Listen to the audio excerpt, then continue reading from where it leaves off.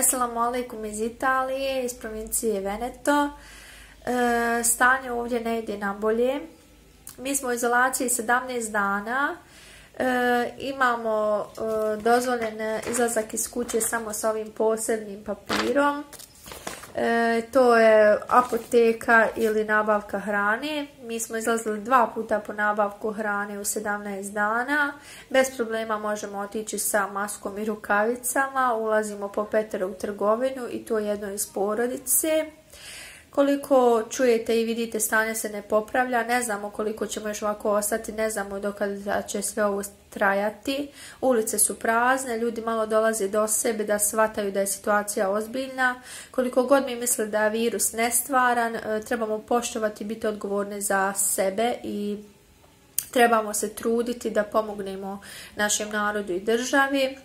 E, Italija nakon zatvaranja školi e, ostavila je sve otvoreno, barove, restorane, trgovine velike. To je jedna velika greška koja je zadesila Italiju, zato ne dozvolite vi da budete e, zaraženi i da budete prenosioci virusa. Koliko god ne izgledalo stvarno, budite odgovorni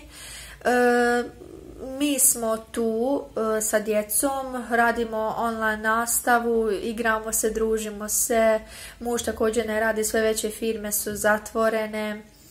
E, Alhamdulillah, nije nam loše, nije nam dosadno. E, savjetujem i vama da pružite priliku da se družite sa svojim porodcom, e, radite sve ono što niste mogli kada ste bili okupirani poslom, jer teško da bi kad u životu dobili ovu priliku. Hvala Allahu na svakom stanju. E, nama još, još uvijek nije prešlo u dosadu. Osmijesi su tu, djeca su vesela što je naj, najbitnije.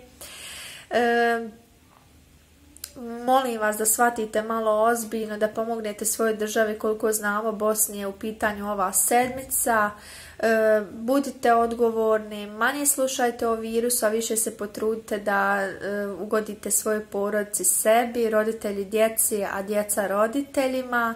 Dragi moji, ostanite mi zdravo i assalamu alaikum iz Italije.